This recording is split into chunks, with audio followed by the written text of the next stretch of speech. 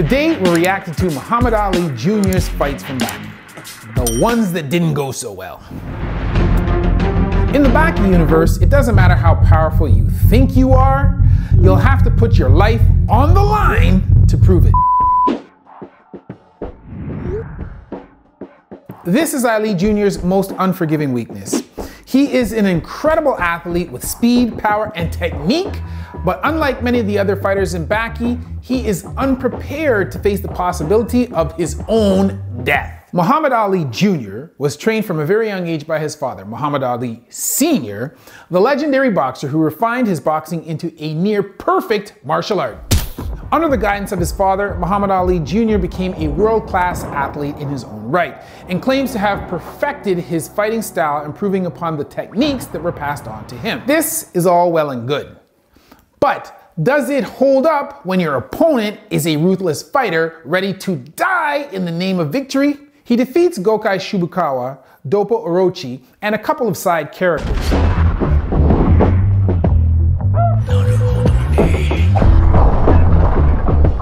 Then, with a couple of wins under his belt, Ali Jr. becomes a little bit overconfident and challenges Jack Hanma to a fight.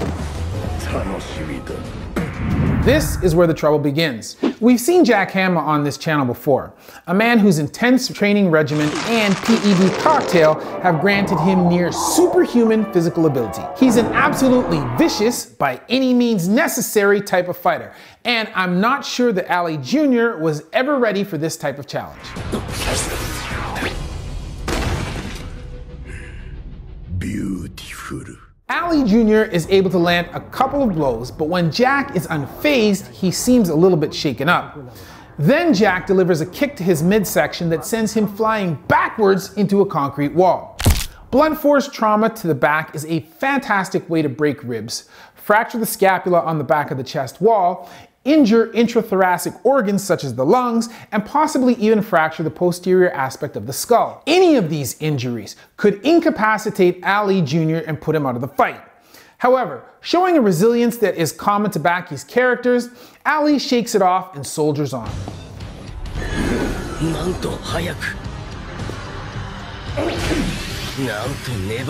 From this point moving forward, Ali seems to be on the defensive, fending off Jack's grappling attempt with a few more insignificant blows. Jack lifts Ali into the air and throws him like a doll into another crash landing onto his back on the concrete floor. Yeah, you know those injuries that I briefly described before? That move would make them worse, considerably. Ali Jr.'s chest wall would be a mess of rib splinters. His lungs would be contused, lacerated, or even punctured by rib fractures. A pneumothorax a hemothorax, or even a pneumohemothorax would be likely at this point, as might be a flail chest, making breathing very, very difficult. Without prompt medical attention, the average person might not even survive. Then we have a series of brutal punches and stomps to the head and face that leave Ali Jr. in a crater on the concrete.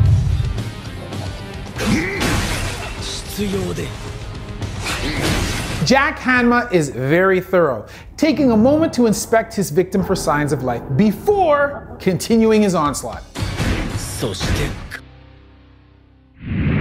Clearly, punching someone in the head while their head is trapped against the ground is not a good thing. But punching them so hard that you fracture the concrete underneath is significantly worse. A typical one and a half inch slab of concrete requires 1900 newtons to break. This would mean that a minimum of 1900 newtons of force had been applied to the top of Ali Jr.'s skull. A Journal of Neurosurgery article has stated that it takes approximately 2300 newtons to fracture a human skull. So 1900 newtons is getting very close to the Humpty Dumpty threshold. Just because Jack is not one to shy away from extremes, he decides to take it to another level by following this up with a foot stomp to the front of Ali Jr.'s face. If Jack's punch nearly cracked Ali's head against the concrete, Jack's curb stomp would be more than enough to finish the job. And given that Jack stomped Ali right across the bridge of his nose, the damage here would be catastrophic. We could expect bilateral orbital fractures and a Le Fort variant maxilla fracture as well. These bones would be pushed back into the skull, with some bone fragments possibly perforating the brain case.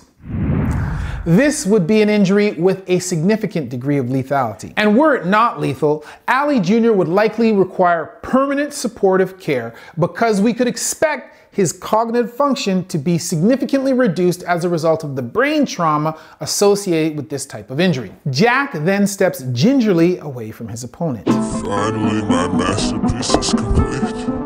And I can rest easy now.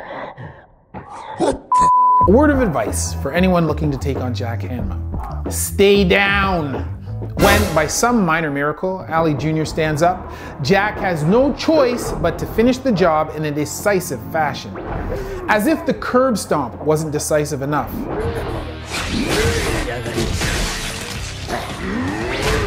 A savage strike to Ali Jr.'s knee makes it hard for him to stand. Fortunately, this punch is only designed to momentarily incapacitate Ali's leg to slow his advance. Jack strikes Ali on the outside aspect of Ali's knee near his fibular head. The peroneal nerve courses around the fibular head in this location.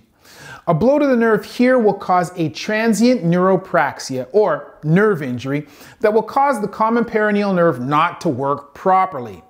This will prevent ankle dorsiflexion, causing a foot drop, making Ali pretty freaking clumsy. As if a caved in face would not do that first. Jack takes advantage of Ali's shaking legs and delivers an uppercut combo, targeting Ali's chin and ribs.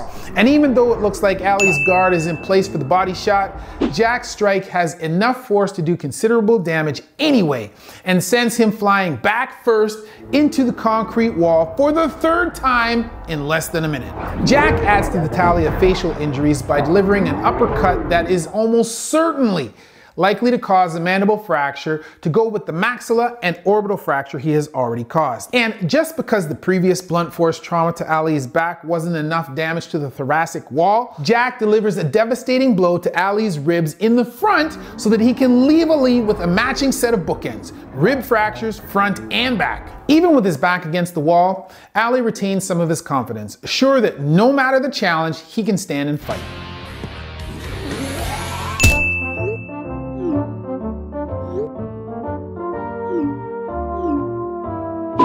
Obviously, he never met Jack Hanma. And of course, anything worth doing is worth overdoing. So Jack delivers one last punch to Ali's face, thoroughly caving in his already crumpled visage.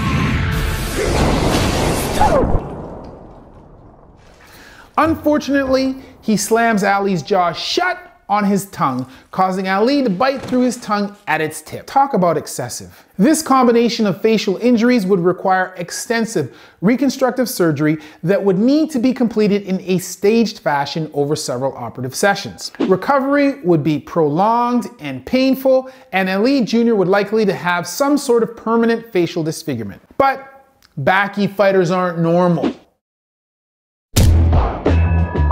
After his fight with Jack, Ali Jr. was injured pretty badly, but in Baki, you really don't get any time off. There is no injury report in underground fighting tournaments. So, in his weakened state, two former opponents come to take their revenge. 我々はすでに決着がついている。決闘ってわけでもねえし、やっぱダメだわ。Gokai Shibukawa claims the first time he and Ali fought, it wasn't a real fight, alluding perhaps to the levels of competition present in the show. You can fight someone like a competitive boxer might fight them, or you can fight someone with every ounce of your strength until one of you is inches from death. It sounds as though Gokai thought the first fight was in the former category and that he withheld some of his power.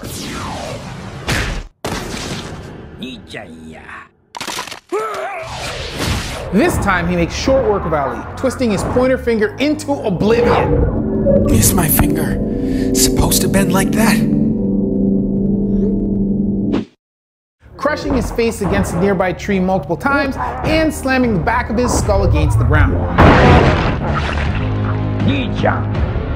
Gokai uses a joint lock of the index finger to control Ali, where he hyperextends the metacarpal phalangeal joint to its maximum range to elicit significant pain. Normally, most people can accommodate approximately 90 degrees of extension at this joint. But here, Shibukawa forces the joint beyond the end range, where either a metacarpal phalangeal dislocation, a phalangeal fracture, a flexor tendon rupture, or some combination of the above is likely to occur.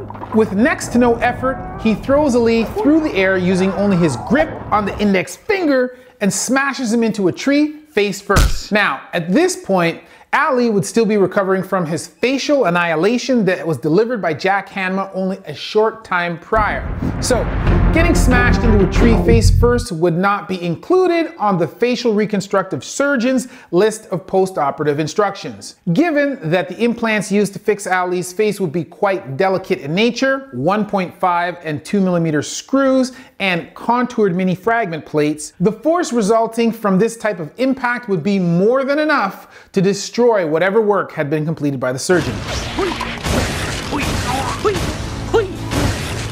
Attempting to reconstruct Ali's face a second time would prove even more daunting a task since there would be less bone available to work with due to the fixation already present. And Let's not forget the facial lacerations that would occur as a result of Gokai scraping Ali's face down the full length of the tree trunk. I'm beginning to feel like these fighters work for Ali's facial reconstructive surgeon and that this is a medical make work project. Then it's Doppo Orochi's turn. Unlike Gokai, Doppo seems to think that his first bout against Ali was more or less fair. He simply wants a rematch and a chance to redeem himself. And he doesn't seem the least bit daunted by Muhammad's injured state. In fact, he is determined to add to Ali's list of injuries. He begins by countering Ali's punch with his forehead, doing a number on his attacker's hand. Fractures and dislocations, once stabilized, are relatively comfortable, causing little discomfort. However, even the slightest tap can cause excruciating pain if these injuries are displaced, as we see here. But not one to shy away from an opportunity, Doppo takes advantage of Ali's weakness, countering Ali's punch with the top of his head, one of the strongest parts of the skull. Ali suffers an open fracture of the second and third metacarpals as a result. Now, if you know anything about striking, you will know that most of the force in a punch is delivered by the striking surface created by the proximal phalanx of the second and third fingers. If you break the second and third rays behind these fingers, you remove all the support structures for your striking surface, which leaves you unable to use that hand to strike effectively. Doppo, knowing this, delivers a brutal kick to Ali's hand, adding a number of phalangeal fractures and dislocations to the constellation of hand injuries that Ali already possesses. That leaves Ali Jr. in dire condition, especially considering that he is a boxer and his fists are his main weapons. This is not world-class boxing that Ali is used to. This is Baki. His repeated attacks leave Ali's hand an unrecognizable mess. Given the extent of the damage present, these injuries are more akin to those suffered in an industrial accident than those suffered as a result of a street fight. Care of these injuries would require immediate surgical care with a washout of all open injuries within six hours of injury to prevent infection. As with Ali's face, repair and stabilization of these hand injuries would likely occur in a staged fashion as the extent of injuries would be too great to address in a single operative setting. Recovery for these injuries would also be prolonged and it is quite possible that Ali's hand would be permanently stiff and unable to make a fist in the future. It would be a real possibility that Ali's fighting days would be numbered following this trauma to his hand. Doppo stomps Ali's foot and delivers a blow to his already extended knee before turning his back and walking away without pause. Striking the top of Ali's foot with the heel of his shoe, Doppo opens a wound on the dorsum of the foot and causes a foot fracture in the midfoot, likely at the level of the metatarsals. Then a direct blow to the front of the other knee is enough to knock Ali backwards off balance.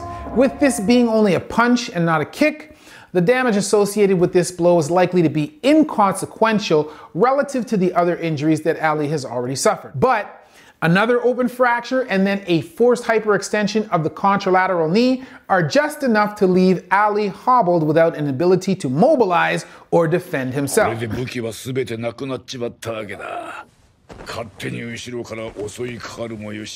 With an ever growing list of injuries, Muhammad does not attack Doppo as he walks away. Perhaps he is starting to understand what it means to fight in the Baki universe. And finally, Ali has the opportunity to fight Baki himself. I missed? He's so fast.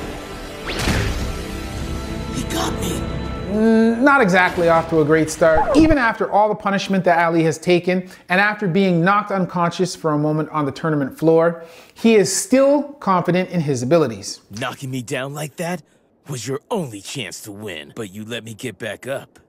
Now I'm ready. Yeah, but a swift kick to the cojones will rectify that confidence real quick. I'm still going to. Might also leave you singing like a falsetto from that point on. Now, I'm not a urologist, but I can say with confidence that a groin kick from the second strongest fighter in the world is likely going to cause some testicular trauma. It is quite possible for a testicular rupture to occur where the testes themselves are crushed between the foot and the pelvis and split open like crushed grapes not a good look, and likely to require emergency urologic surgery if Ali hopes to have Ali Jr. Juniors running around in the future. It could also cause an injury to the, yeah, well, let's not even go there. Suffice it to say that the groin kick is a very effective way to stop your opponent in their tracks. Very effective. Welcome to Baki. Hey, bud. You want to keep going? Confidence will only get you so far. Baki then delivers a crushing stomp to Ali's head. You're about to die.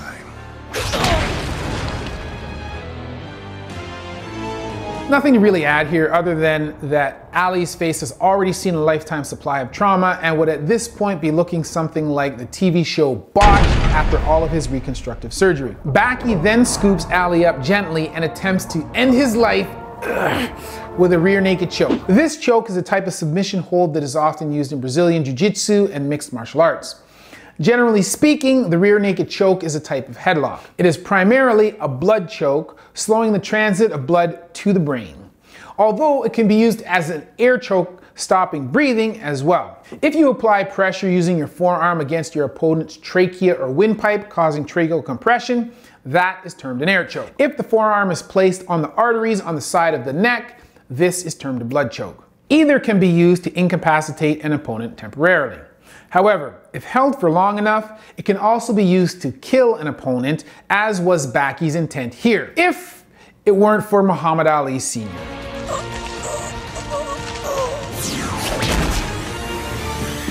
Well, Ali Jr. might not have made it out of the episode alive. I guess that's what happens when you push your luck a little bit too far in the Baki universe. If you like this breakdown, be sure to let me know in the comments. If there's another fight you want me to analyze with a critical medical eye, let me know that too. As always, that's been a word from Dr. Chris, not your everyday ortho.